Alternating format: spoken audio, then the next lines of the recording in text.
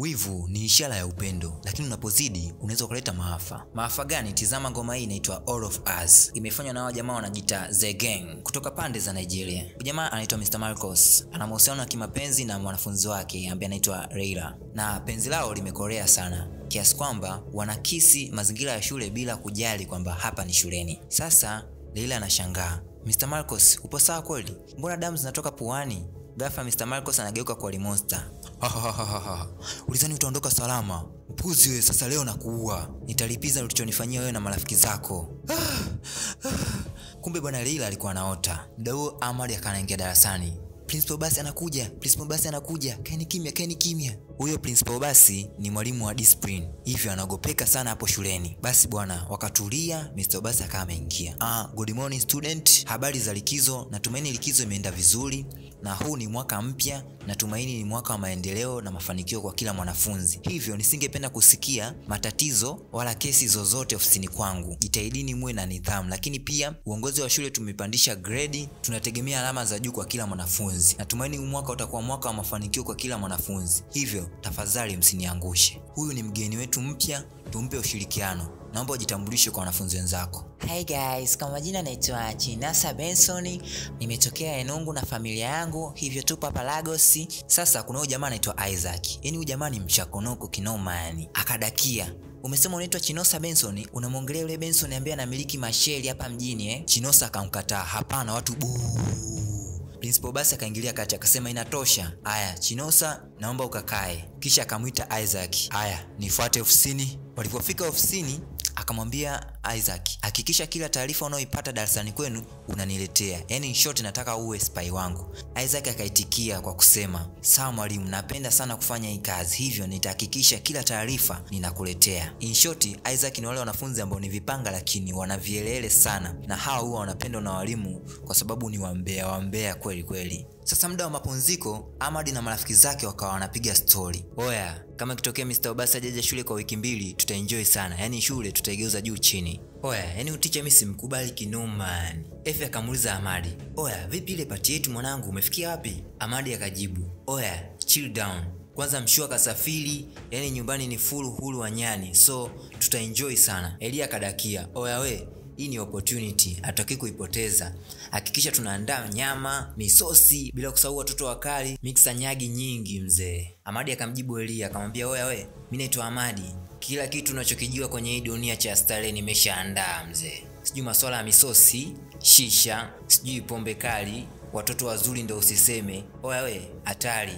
Efi akadakia na kusema, oya we, usisahau vitu vikali, vitu vikali vyetu vile, usisahau mwanangu. Haya bwana, kesho yake tunamwona Montres Victory akigawagawa mitihani pale. Sasa alivyomfikia Elia akamwambia, nimesikia kwamba mtakuwa na party weekend hii, jamani, naombeni nami nije. Elia akasema we, hapana, nani kakwambia? Hakuna, hakuna, hakuna. Amadi akamwambia mwache, tutamruhusu aje, lakini kwa sharti moja. Cha kwanza atuletee pisi kali, lakini pia asije akamwambia Isaac, japo Isaac alikuwa amekaa mbele kwa mbali, ni kama anavutavuta hisia ajue ni nini kinaendelea. Sasa leo Madam Grace alikuwa na kipindi Leo alikuwa anakumbushia maswali ambayo aliwapa kwenye quiz. Kila swali akiuliza Isaac anajibu, kila swali akiuliza Isaac anajibu. Madam akashtuka, ina maana watu wengine hamjasoma eh? Hamjapitia quiz, Isaac peke yake ndo kapitia. Haya, swali linalofuata nataka mjibu nyinyi wengine. Moyo una vyumba vingapi? Kimya. Baada ya kimya kifupi, ikasikika simu inaita. Hiyo ni simu yako? Ndiyo madam, nilijua nimeiacha kwenye loka. Nitakupeleka kwa mwalimu wa discipline. Ghafla Mr. Marcus akatokea. Kuna shida gani hapa? Ameingia na simu darasani, na mbaya zaidi inaita katikati ya kipindi. Mr. Marcus ni wale walimu wenye tamaa.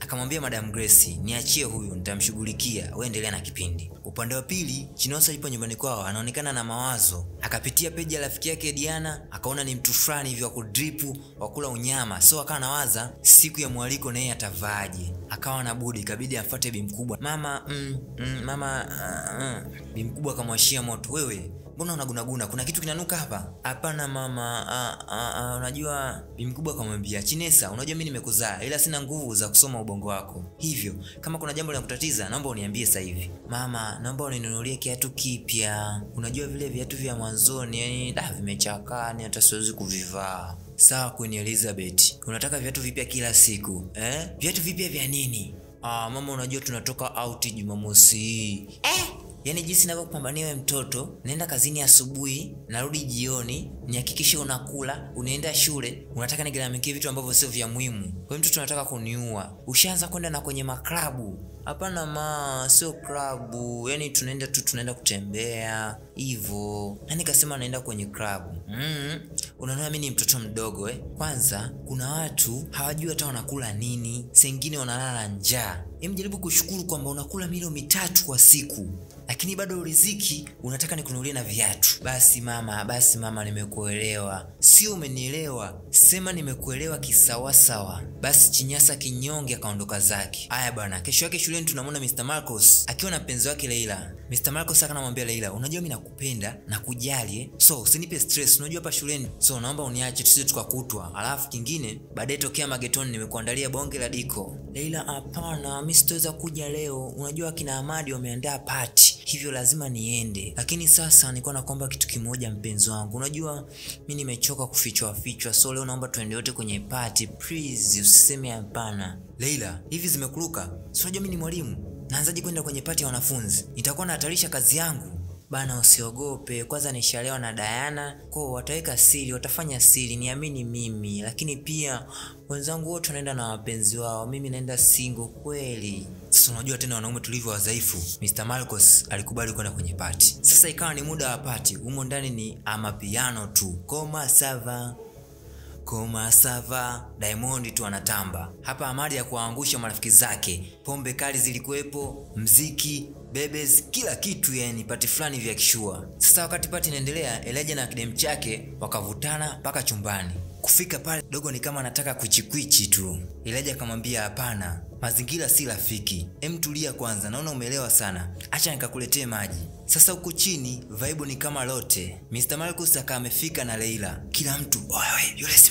Marcos na nikamwalika. Mr. Marcos ni kama akawa anaona aibu hivi, ikabidi amwambie Leila, naomba niende washroom kidogo. Sasa baada ya muda kidogo, kile chumba ambacho Elijah alimwacha demu wake, tunamkuta Mr. Marcos amefariki. Hapa Chinesa na wasichana wenzake ni kama wamechanganyikiwa, ikabidi waite watu wengine. Leila akachukua simu kwenye mfuko wa Mr. Marcos. Aisee, hapa pati ilikuwa imeshaharibika, kila mtu akawa amechanganyikiwa. Oya, tunafanyaje wanangu? Elia akasema inabidi tuhakikishe hamna mtu anajua hiki kitu. Usiache kufuatilia pati 2 ya mzigo huu unaitwa All of Us. Munich Speaking ndio wadau wetu wa nguvu, na msimu wa graduation wametoa ofa ya picha mbao kwa kila mteja atakayefanya nao kazi. Hivyo wapigie kupitia namba ya simu 0764584697. Tembelea ukurasa wao wa Instagram Munich Speak kwa ajili ya kuona sample ya kazi zao. Mimi hapa ni Wani Aimani aka Icon of Africa. Bye bye.